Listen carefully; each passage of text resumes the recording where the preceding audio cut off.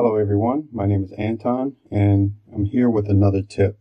I'm on the Onyx Boox Nova 2 e-ink device. This is their 7.8 device here and I'm in the notes.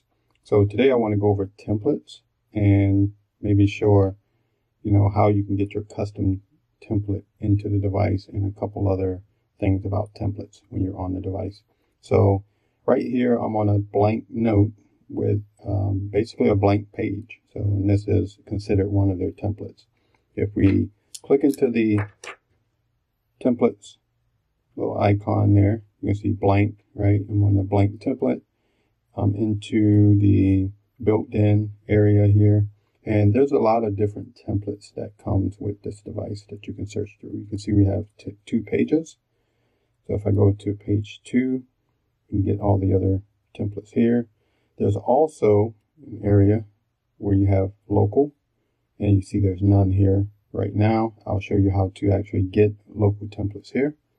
And then there's the cloud. You can download additional templates from the Onyx Boox um, templates that they have in the cloud. You can go through these here. Um, right now, there's a limited, let me see, it's just this one page right here. So there's not too many in the cloud here that are, that are really different from what you have on the local device. But if you don't find a template that you that you think you need to have on this device, what you can do here is you can add one to your local templates. Let me show you how to do that. First, let's go grab a template. The, the nice thing with the Onyx Boox here is that it's running Android 9 and you're allowed access to certain applications. Um, a browser is on the device by default. So what you can do is you can open up the browser. And what we're going to do here is I'm going to download a template from Canva. So if you go to canva.com, they have a lot of different templates for different use cases. Um, again, there's a lot of stuff in there. I use them for presentations, for uh, Word templates, presentation templates, etc.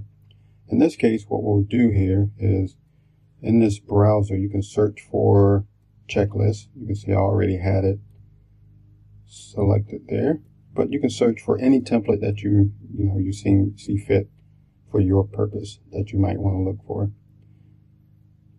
And the good thing again with this Onyx Boox is that you can do this on device. Now the experience in using the browser is not as great as on your computer. So I'll show you later how you can do this on your computer as well. Okay, so we have a you know a checklist template here that from canva.com. What we can do here is we can download this template. Let's say this is the one that you want. Go ahead and download. It's going to download as a PDF. Click download. It's going through its process of downloading that file. And we go into the storage area. Go to storage, storage, and let's look for downloads here. And this is the file that we just downloaded today. Go ahead and open it. And here you can see this is the checklist that we just downloaded from canva.com. Now, what we want to do is get this, this template, go back into storage, and if we press and hold, we get a few options here. You can either uh, cut it or copy it. In this case, I'm going to copy this file. And what I'm going to do is I'm going to copy it into the note template folder under storage. Here. The paste is here on the left. Paste it. So now that has copied this PDF um, of that checklist into the storage slash note template folder. Now let's go back into notes. So if we go back into notes, let's go ahead and click on the note that we want to have here and click on the templates. We go into local templates now. You can see that the checklist template is there. We select this template. You can see it's going to use this here and overwrite the current one. Click OK. And now this template is available to us. So I can go in here and I can write on this. So for that, here, I can add a page and you can see the template goes to the next page. One tip on templates when you're in the Onyx Boox. So when you add a page, the, each subsequent page will take the property of the previous template. So what you want to do here, if you want to change this template, because you can, not every page has to have the same template when you're in Notes. So what we do here is we go ahead and select the new template again. Let's do the lines this time. And now we have the lines template. Go back to page one, still the checklist. Back to page two.